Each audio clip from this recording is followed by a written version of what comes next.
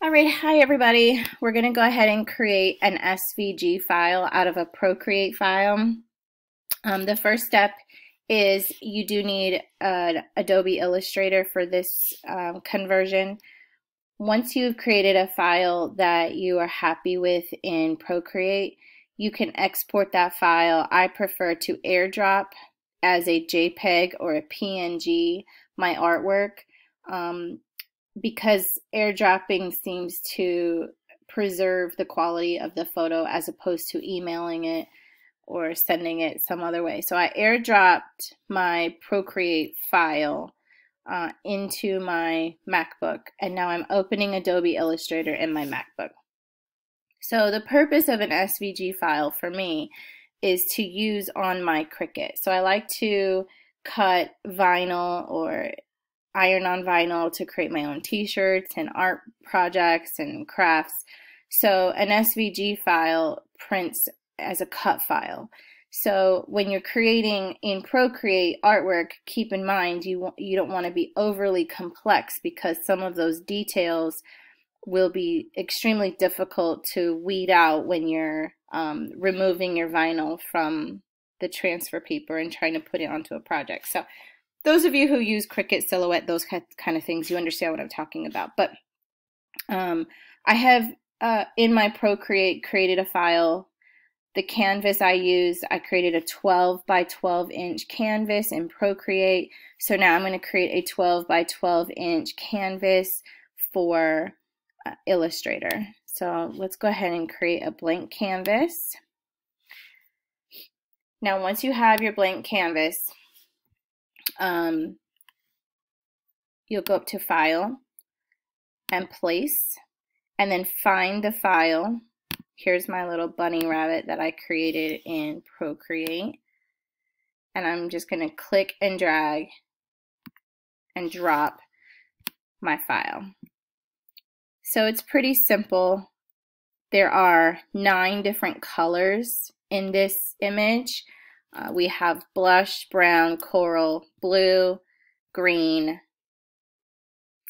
orange, purple, black, and white. So the first thing I need to do is first embed the picture.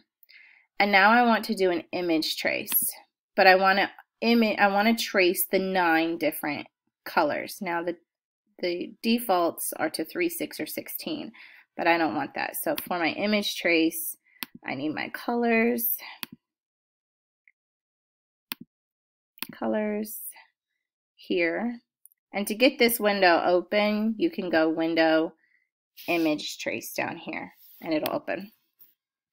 Um, I want to reduce this to nine different colors and I'm going to hit trace. Tracing could be slow. Yes, yes, I always get this warning and I hit OK.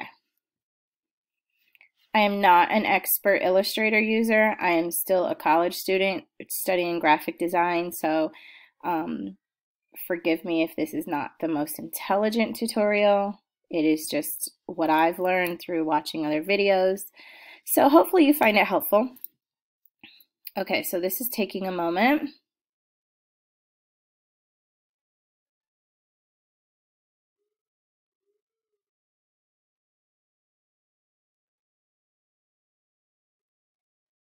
Okay, almost finished.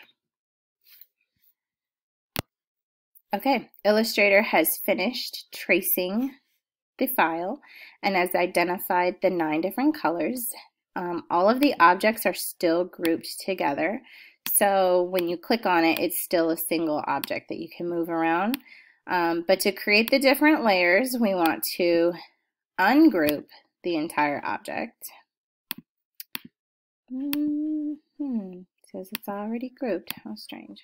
What are we doing here? Okay.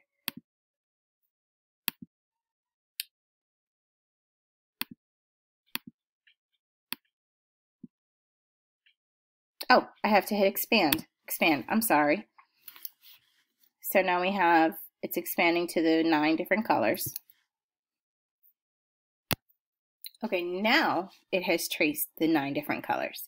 So the object is still grouped, but I can go in here and ungroup it and select just certain elements and pieces. So as you hover over, you see this blush piece has been selected. So if I were to pull that out of there, that's a single piece. But I want this piece to match up with all of these other blush pieces and to be grouped together so that when I cut this file on my Cricut, um, they're all attached to one another in the same way that you see the final product. So we'll start with blush, click one of the objects with that color, go up to object, I'm sorry, select same fill color, and it should select all other blush colored objects within your file or your artwork.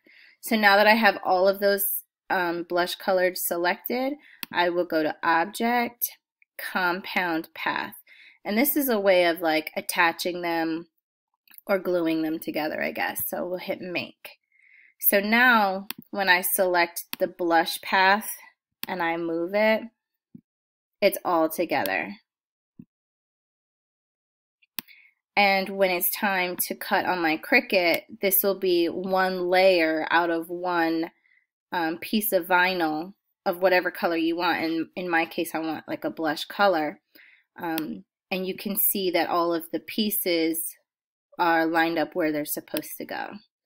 So let's try to snap this back in place.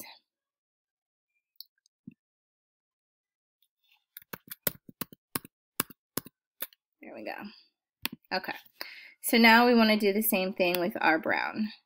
See the brown, there's multiple pieces of brown. So we're going to go select, same, fill color, object, compound path, make. So now the brown is one piece. Here's the bunny. Okay. Let's put him back. Or her. She's got flowers in her hair. I'm not sure.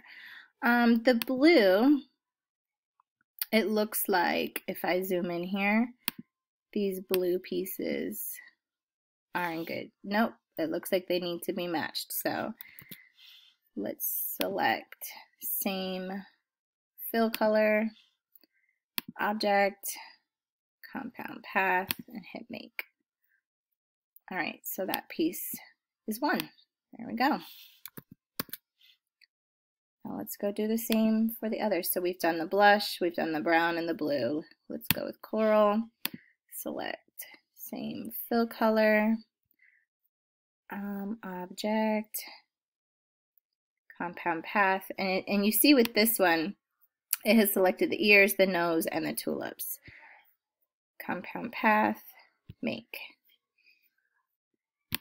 So now that's its own layer.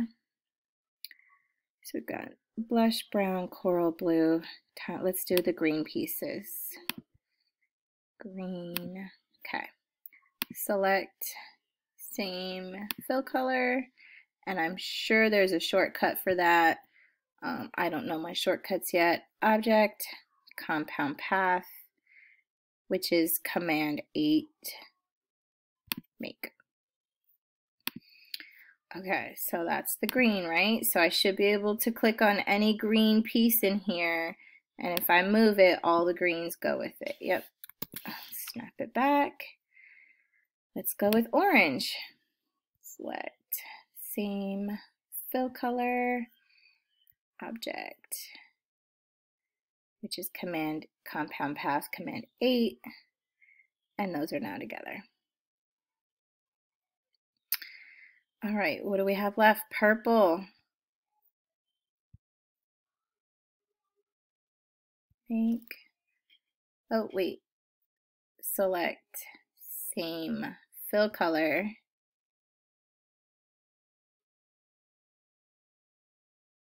Hmm.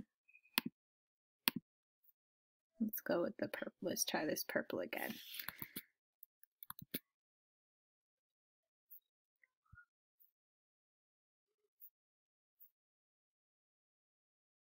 Okay, that's done. Select same fill color, object, make. And one way to check your work is to come over here to the layers and expand the layer and see how many colors we have going. So here's my green, blue, blush, purple. These are probably white.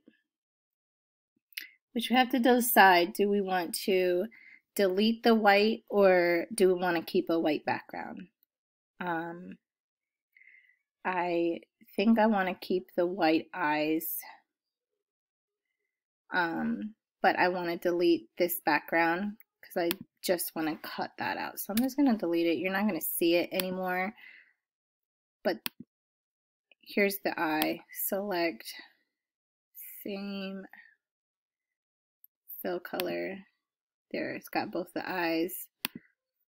Compound path, make. Okay, so we've got the white of the eyes we looks like we still need to combine the blacks of the eyes. So let's go do black, select same fill color. so to make a long story short, this is not the easiest process. Compound path make. Um, with the video, I will include, I've made um, a shorthand notes on the steps that you take it makes it much simpler. The, there's like five simple steps. You place the file, you embed the file, you image trace choosing the correct number of colors, and then hit expand. You ungroup, select a color, select all the same fill colors, compound the path so that those colors all combine. And then when you're finished with all of your colors. One, two, three, four, six, seven, eight, nine. Yeah, we said we have nine. You're going to select all and you're going to group the object back together. And now it should be ready to file, save, and at the drop down you're going to choose SVG. So here is my, we're going to call just Easter Bunny, welcome for an SVG file. Let me go save it with all my other SVG files. Yeah, I have a lot of crap on my computer. SVGs by me, new folder. Looks like I already have an Easter bunny, but that's okay. We're gonna do an Easter bunny welcome. Hit create save, and I don't change any of these defaults. It's set to the SVG 1.1, SVG embed, and I'm just going to hit OK. So that should be saved. Now let's go into Cricut and test it. So if I launch Design, design Space,